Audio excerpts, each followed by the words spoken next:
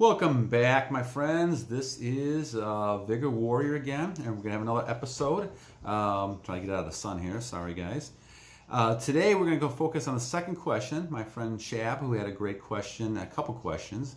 We focused the first question on energy and how people lose and um, you know transfer energy. Now we're going to talk about a question that he had about people and promiscuity, people who end up having a lot of intercourse, a lot of different uh, things that they they do and how why do they seem like they're kind of dead uh, and seem like that they're not really that you know strong in their soul and spirit and their energy level is really kind of low. Well there's a reason obviously for that and let's kind of talk about that a little bit. So as you look at those type of things the key is once again and going back to some of the physics type of laws that we talked about is that you cannot really destroy energy but you can transfer energy and lose it. And what ends up happening with a lot of people, and this is the same for men and women, when they when they have a lot of intercourse and they do a lot of those type of things, uh, they end up, in my mind at least, they end up losing a lot of their energy. And so when you see people doing this, and they do this with multiple partners all the time, they can become very dead, both physically, not, you know, sense physically, I'm not talking about that they get run down because people in their 20s, you know, they have a long life to live. But you can see people who are exhausted, and you can see people who on a daily basis become a lot more weaker uh, because of that. That's why in, in athletics, and we'll talk about this in another video talking about sports performance, but we talk about this in, in sports uh, and I've had coaches do this, say don't have any intercourse, don't have anything uh, days before an actual type of sporting event because you want to save your energy, you want to lose your energy, and you want to become someone who is a lot weaker when you have to perform well on the uh, sports field and the, uh, the, in my case, the football field. I remember stories with a lot of boxers, Muhammad Ali, um, you know, Mike Tyson, talking about how Tyson, I think, went for five years and I remember a lot of the fights that he had, he was a beast. And I, that doesn't surprise me, right? Because the energy he kept within him, he was able to transmute that and move it into something more constructive. Now we're going to talk about those things as well. I've kind of gone off a little bit of course on my plan on some of the videos because I want to just kind of answer some questions and, and thanks again, for this. And before I forget, go ahead and uh, please uh, comment and, and like and uh, subscribe to our channel if you like this. But the idea that we're talking about here is focusing on why do people seem like they're dead because of promiscuity and trying to do intercourse and having multiple partners and things like that. And this applies to both men and women. In a male's case, certainly I think that, and which is obviously something I know more about, the idea basically is that you're losing energy every time you do something, especially uh, if you're not able to control yourself with this type of situation and that's why you have people, young people, having uh, dysfunction and different types of things. It's just incredible. But because you're doing this so often, and people doing this, you know, um, and with people or without people several times a week, and then and that's going to over time kind of wear you down. And so the people who have, you know, who do a lot, a lot of this, both males and females, you're gonna you're gonna find yourself in a position where this is the only thing you focus on. And instead of using your energy to achieve goals and becoming successful and kind of doing things in society, all you're doing is focusing really on intercourse with people and doing this with multiple partners and things like that. And this is once again one of the problems in our society because we emphasize this so much. We do this for advertising, we do this with media. Uh, everything you're seeing right now focuses on having intercourse and sex with people all the time. And the thing is, you don't want to buy into that because what you're doing is you lose your energy. Now, of course, I'm not saying that if you have someone, a special person, those type of things, you're, you're, you know, you're with, friend, you know, that's a whole different matter.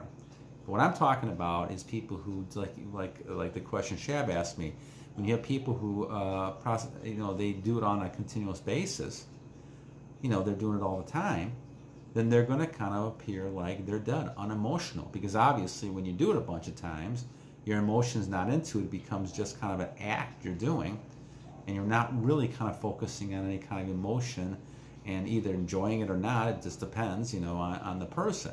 But you're not at the point where you're actually going to go ahead and really kind of have any kind of emotion to it. And I think that's a big part of the problem we have. When people doing it so much, it doesn't become as important. And that's one of the reasons why then spiritually and within yourself you become almost like dead. And that's the key thing when it comes to this whole situation. Now, on the other hand, I believe, since I've gone through this journey, it's 440 some days now, you're focusing on becoming more alive. And I haven't felt this alive for, for many, many years, right? When I started my issues back in the teens and things like that, uh, before then, I could remember a day when I felt like this, but that was, you know, back when I was 10, 12 years old, right? And so the thing is, is that now I realize what had happened, and it was many, many years of going back and forth and listening to what I thought was the right thing, and it's turned out to me, at least, being the wrong thing. And I think what you got to do is kind of focus yourself on trying to say, you know, what is the right thing for you. Now, of course, you know, in certain situations, losing your energy, you know, is appropriate. Once again, I had said that, you know, if you're procreating and having a child, well, that's a whole different matter.